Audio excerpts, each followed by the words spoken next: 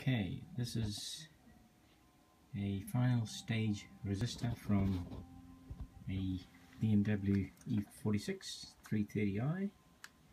Um, well, it's it looks quite a bit different from when it came out of the vehicle. Um, as you can see, um, there's been some modifications made.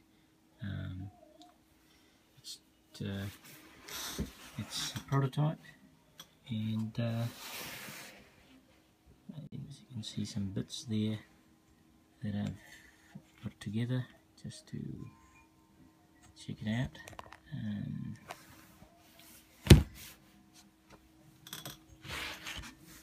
as you can see all the guts have been removed from it um,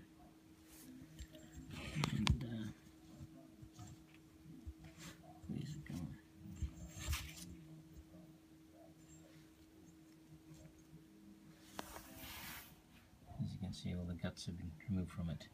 And um, I've used the heatsink mounted a high high powered um, power transistor.